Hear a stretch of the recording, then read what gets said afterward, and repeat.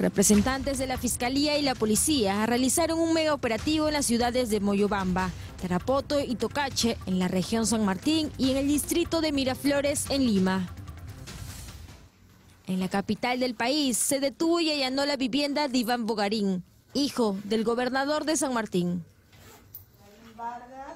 El gobernador regional, Pedro Bogarín, fue detenido en su vivienda de Moyobamba, al igual que otros 20 involucrados en presuntos actos de corrupción y de pertenecer a la organización criminal Los Elegantes del Norte.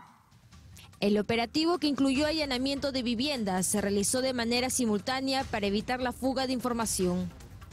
Durante el allanamiento en la casa del gobernador se habría encontrado 50 mil soles en efectivo. Todos los intervenidos permanecerán detenidos preliminarmente por 10 días, mientras que la Fiscalía solicita la prisión preventiva para concluir con las investigaciones.